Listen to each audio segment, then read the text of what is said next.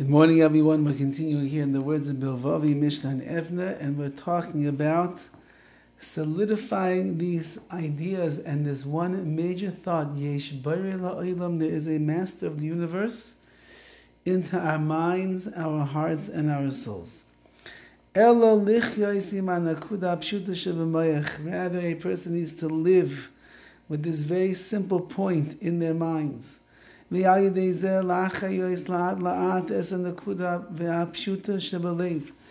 then little by little a person begins to live with this nakuda, with this point, this simple point in their heart. Hagimura it's the most simple thing you could imagine. Yedia bilti merkevas klal, it is a concept without any mixture, nothing is mixed into it. It's simple and clear. Yadia Barura Me'oid Sheish Bar a very clear understanding that there is a creator of the world.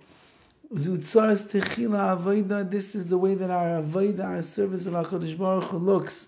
In the beginning it takes shape and form. Adam Pinimi This is the way that you need to start off for a person who wants to build a inner world a, that is solid and firm and his banui is built on these great foundations. A person needs to remind himself about this very simple thought. There's a bari olam throughout the day. In the beginning, he needs to make for himself some kind of like external or physical reminders. She is to remind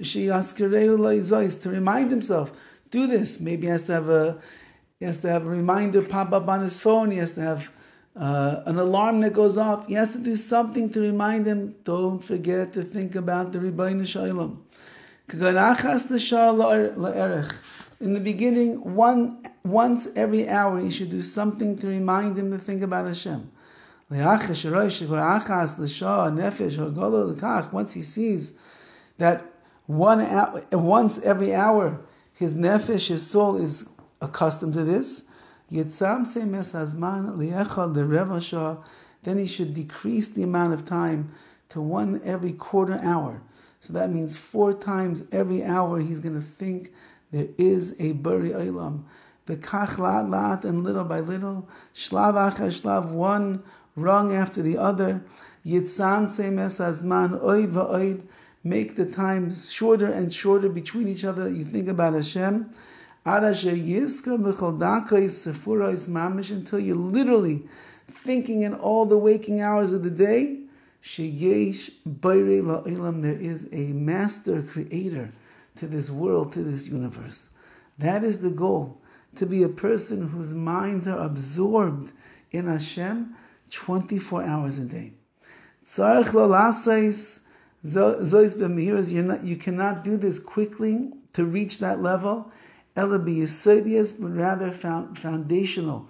Little by little by little, you're digging the foundations to get to that place where all day long you can think about Hashem.